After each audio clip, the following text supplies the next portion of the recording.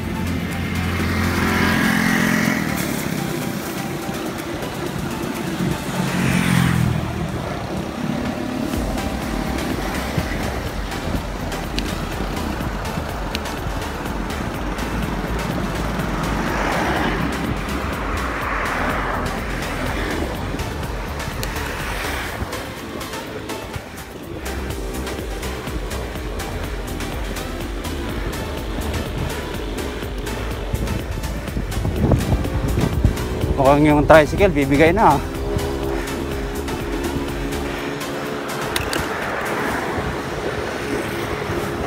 Barangay Santa Maria, Magdalena.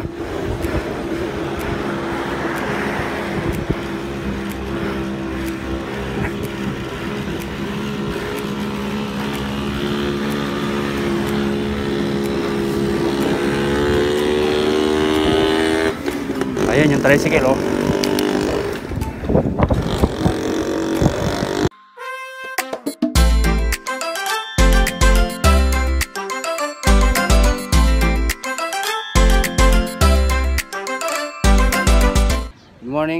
Kalat, welcome back sa akin channel. Today is January 1, 2021.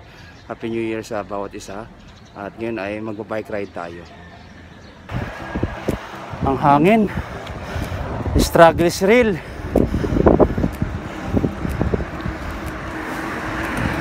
Yan, so as you can see mga kaalat no.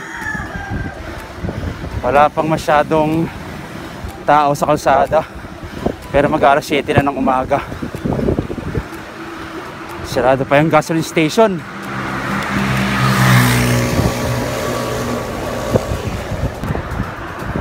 Ayan o. Ganda ng weather. Hindi mainit. Pero mahangin. Ayan, so ang rota pala natin ngayon mga kaalat ay mini Laguna Loop.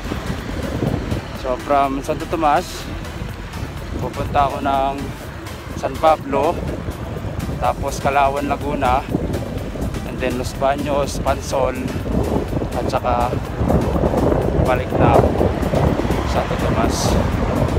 So solo ride dito. At ito ay ito ay chill ride lang mga kaalat at solo ride. Ito na yung going to San Pablo no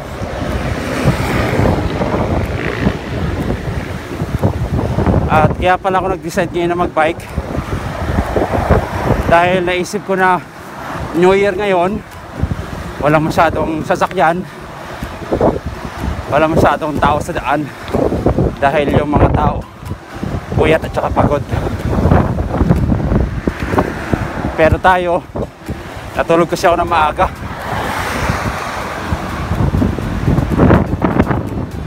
Grabing hangin talaga hirap pumidal. Ang hangin. Ayan o so siguro na marinig na rinig sa video ko no?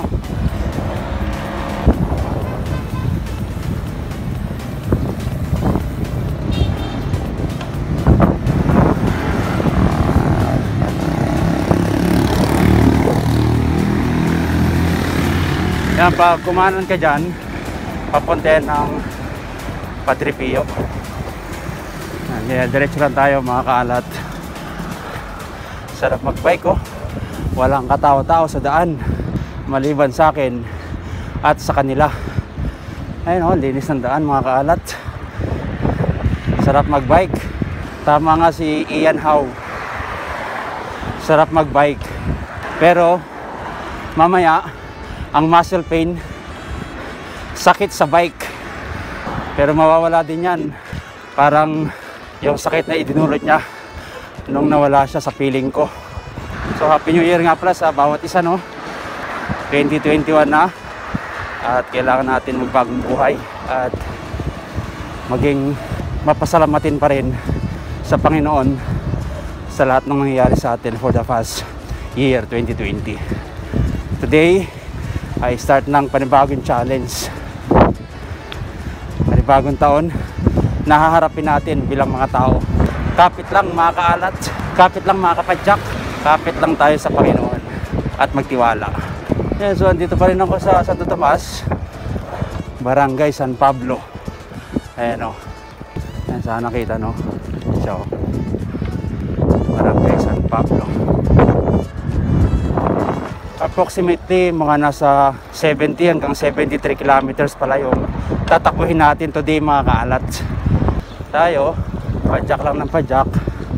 Samantalang yung iba dyan, hilik pa ng hilik. Sarap daw matulog eh. Pero tama yung sabi ni Ian Howe, sarap magbike. Agree ako sa'yo sir. Hopefully one of these days no, makasabay kita pumadyak. Shoutout nga pala sa'yo sir. Shoutout nga pala kay SJ na piloto ng Philippine Airlines at sa kanyang family. At saka yung kapatid niya si IJ. Shoutout sa inyo sir. Shoutout sa family Kipit. Yan, so tuloy-tuloy lang ang padyak natin. Mabagal pero progressive. Good morning. Happy New Year po. Palusong pero ang bagal oh. Dahil sa sobrang hangin. Ang bike ride na ito ay hatid sa atin ng Drinks Magis 100. Ayan, may nakita na tayong bikers dito, dalawa. Kabila. Unang lusong.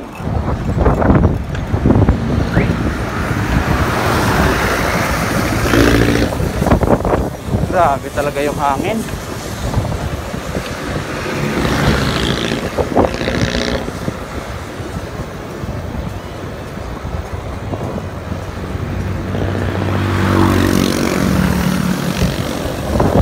Palusok yan pero ang bagal ang takbo.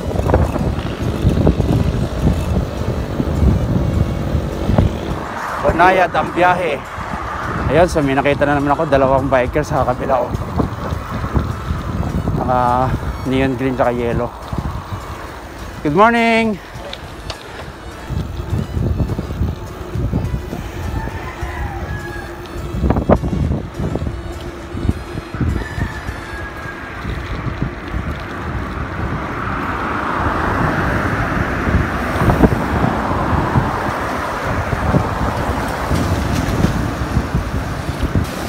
Parang alaminos na to ah.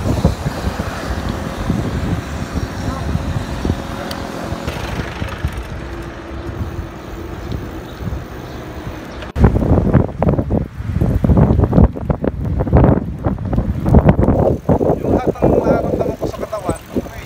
Ayan, so alaminos na kami mga kalat. Ayan oh. Pure gold, alaminos. So si sir, kinukwento niya sa akin kung bakit daw siya nag-shift from motor to bike. Yan. Maganda daw kasi talaga yung benefits ng pagbabike. Oo, talaga, maganda ang health benefits sa katawan. Talaga lahat ng cholesterol, taba sa katawan. Nawawala, natutulog niya. Oo. Kaya lang sa una talaga mahirap. Pero kailangan natin. Sacrifice. Then after, uh, nakano na tayo na sa ngayon. Ginhawa na. Yun, ginawa na no. Pag naka-adjust na ng konti. Naka-adjust na, basta yung unang uh, 10 to 15 days, talagang pagkaramdam natin, nakaano natin. Based on experience. Ah, ganun ba sir? Oo. ah, pero nung ah, katawan ko ay ito yung ng uh, ano siya, sasanay na, O, Hinahanap-hanap na. nahanap na, Ayun. Uh, nagtatak ko ako. Saka yung cholesterol ko talagang tinanggal na. Ilang taong ngayon sir nung natuto kayo mag-bike? Lang, Ah, ngayon lang? at the age of 35. Ah, dami no? talagang ako hindi rin mag-bike. Ah, Sa ako, sa motor, marunong ako. Kaya lang, eh, hindi namang motor at bike, kaunti namang adjustment lamang yun. Oo. Basta marunong, marunong masampanan lang. pwede na. Oo. O, ah, nine months na ako. Wala nung March hanggang, hanggang ngayon. Ako naman sir, na- natuto ako mag-bike. Bata pa lang ako sa Nueva Ecija. Ah, taga doon ka. Oo, taga doon. na- Yung father ko, taga doon. Yung aking uh, Bogart, parang kay Cabo. Ah, okay. Ako din, hindi naman kami sa city, sa ano kami, sa Fort Magsaysay. Oo. Dahil ang tatay ko ay sundalo. Yun, oo. Pero ako, hindi ako nagsundalo. Dahil mahirap ang buhay sundalo. Mahirap talaga. Ah, mas- Bayan muna bago ang sarili. Oo. Yan, so ang ganda talaga oh, ng kwentuhan namin ni Sir.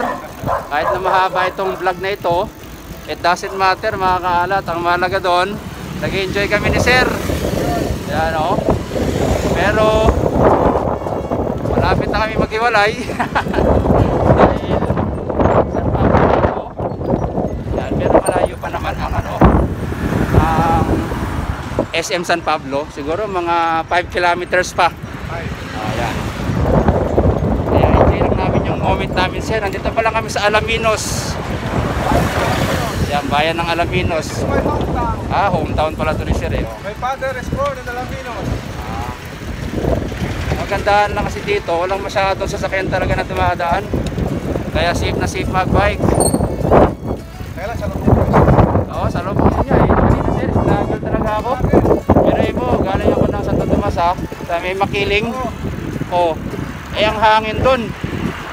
Parang ahon ko ni ano, magnetic. Oo. Hindi siya ano doon, kala mo, hindi siya ahon. Oo, sir. Pero ako ano, ang sakit ng itipa. Oo. Kaya hindi na ako tapos ako dumaan na Ah, doon ka sa ano mismo sa San Vicente. oh, San Vicente ka na. Eh, Padre Pio. Televio. Oo. Ay doon sa ano kasi yun, yung Medianas na yun. Oo, dyan sa siya. Oo. Pero ang pakiramdam mo parang flat ang bike mo. Oo, kasi ang hangin. Ang hangin. May, may kaibigan din ako doon na ano, sir, na teacher. Ah, oo. Ito naman, pag ginawa na tayo dito, kasi dito ano na, Pababa. bababa na to. Oo. Ito walang hangin, ano tayo dito. Kanina talaga, sir. Grabing hangin talaga. Kasi ito, diretso na ito, kamisin na ito, ganito. Oo. Ito walang hangin. Hangin tayo pumilaan. Oo. Ang hangin ito na. Pero mo, pababa, pero nagpipidal ka pa rin. Kaya kapag ganito, yung talagang ikaw eh, ha, yung hindi ka tao eh. Kapag, lalo kapag ahon, Oo. sigurado, lakot ang kanina dito. Lagot. Kinukuha ko ito simula tanawan up to sa sa sa sa Lucena. Tatlong oras. Ah, one way lang yun, sir. Ano mo yun? Okay. Ano? Simula sa tanawan na yun. Ah, 78 kilometers. Ah, 78, Oo, no? hanggang doon sa bahay. Layo din. Ito ang padyak ko na to, sir. Ah, in-estimate ko, ay ano pala, tinignan ko sa Google Maps Oo, kagabi. Google Maps, oo. Mula sa Santo Tomas, ikot yan, nasa 73. Oo. 70 hanggang 73 Oo, kilometers. ganun yun. Kasi ikot ka ng Los Baños, labas ka ng Kalamba. Oo, sir. Yan. Ang labas na doon, sa Kalamba na. SM Kalamba, doon ako ah, kakaliwa. Tapos yun, puro ahon na yun. Oo, ahon na yun. Ahon. But anyway, ah, maganda experience to. Actually, pangatlong ah, bike ko pa lang to, sir. Nag-decide nga ako kanina na mag-bike dahil kagabi maaga ako nagising. Ah, natulog pala. Alas 10 yata, tulog na ako. Oo. Tapos, nag-alarm kasi ako ng 5.30 Oo. kanina. Sabi ko nga sa sarili ko, dalawa lang ang pwede kong gawin. Matulog o pumadyak. Ito na yan. Dahil kung matutulog ka, baka hindi ka na magising. May posibilidad. Pero kung pumadyak ka, Still alive. oo, exercise. Exercise. Lahat ng ugat, pati ang ating mindset. Buhay Ayun. na buhay. Struggle nga lang dahil mahangin, makulimlim. Pero maganda mag-bike. Masarap talaga mag-bike, di ba sir? Masarap. Talaga, ah, dati wala talaga akong kilit, pero ngayon, Hilig mo na sir. kapag ako nakakapag parang kulang ang araw ko. Ayun oh. Sana all no. Sana all. So tuloy-tuloy lang pagpapadyak natin mga kaalat. So ito na tayo sa Pure Gold San Pablo. At kakaliwa na ako dito sa traffic light. Papunta na yan ng Kalawan, Laguna. So eto na pangalawang banayad na ahon na may kasamang hangin at ambon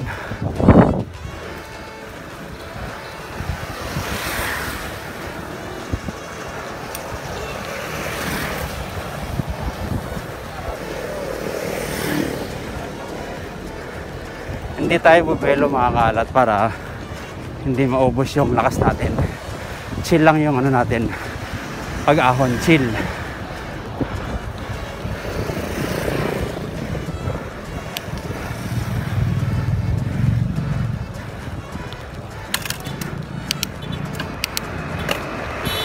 Tingnan mo. Ah. Huwag niyong gagayahin yun mga kaalat. Babanggain pa tayo. Aba.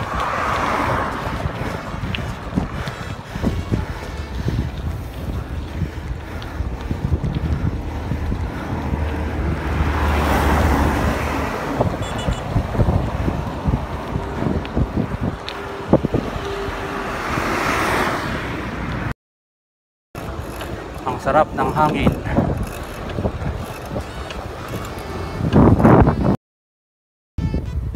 Ito talaga yung paborito kong part dito sa Kalawan. No? Ang mga palayan yan. It reminds me sa buhay namin sa probinsya, sa Nueva Ecija.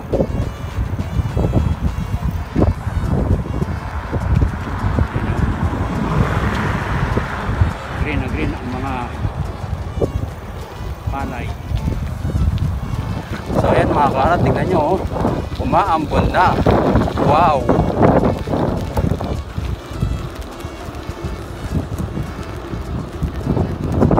So sumilong muna ako dito dahil as you can see, tingnan nyo, oh. sobrang lakas ng ulan. Ayan oh. Ang puti ng kalangitan, kaya pahinga muna tayo dito. So after 15 minutes ng pahinga, wala nang ulan kaya dire-diretso na tayo sa ating pagpapadyak. Yan, so kalalampas ko lang ng Jollibee Bae at papunta na tayo ng Los Baños, Laguna.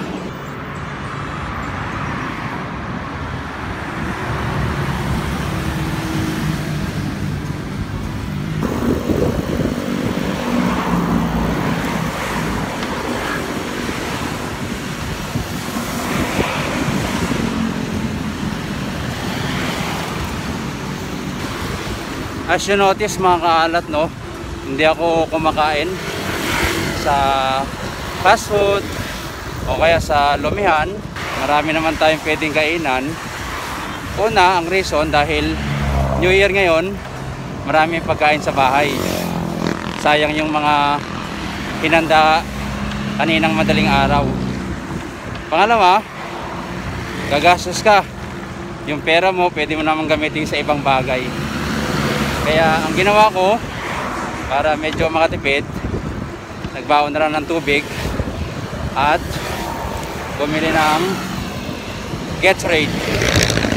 So yun, tapos mamaya doon na lang ako sa bahay kakain pag uwi. Welcome to Los Baños.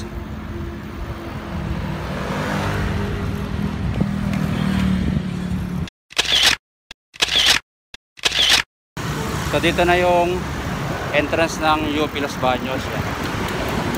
Yan. Yan. Pasok ka dyan. Sa may kanto ng Mercury. Oo. So kakaliwa ka doon. Tuloy-tuloy lang.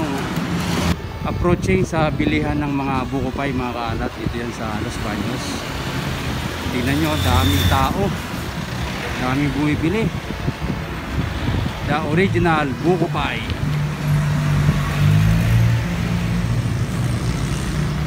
Ayun o.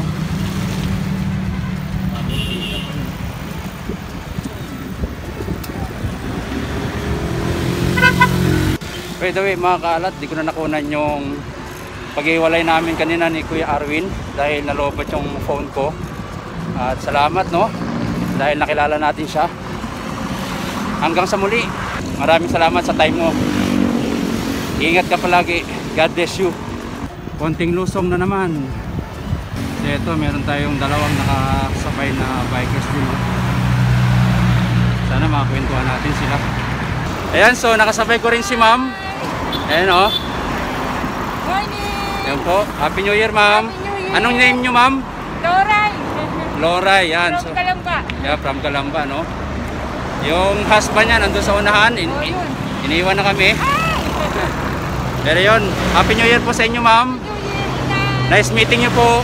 Welcome po sa vlog ko. Yan, thank you po.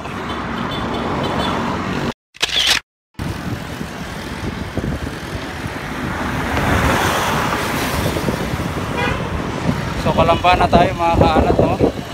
Yan. Hindi na tayo didiretso ng SM. May kakaliwan tayo doon sa unahan. Papunta ng munisipyo ng Calamba, Laguna. Yan, so andito na tayo sa munisipyo ng Calamba, Laguna, no? Pero grabe ang ulan, no? Isilong muna tayo dito.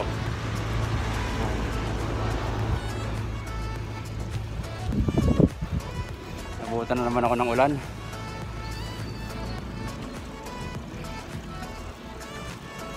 Ayan o, tinan mo, puti ng langit. Ayan, so paturbina na tayo mga kaalat. Pag kumanan ka doon, papunta na yan ng expressway.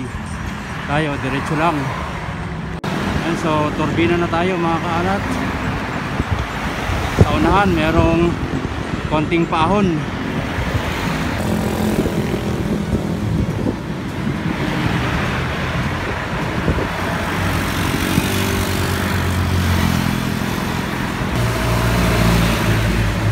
Makiling, Santo Tomas. Konti na lang, ako na ng Santo Tomas.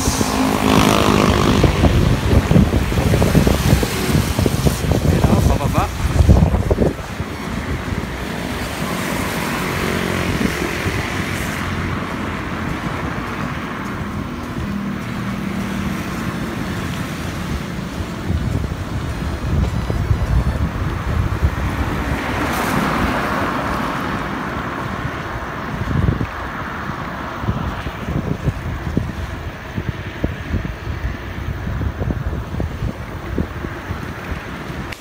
So ayun na nga mga kaalat no, konting padyak na lang ay nasa bahay na tayo.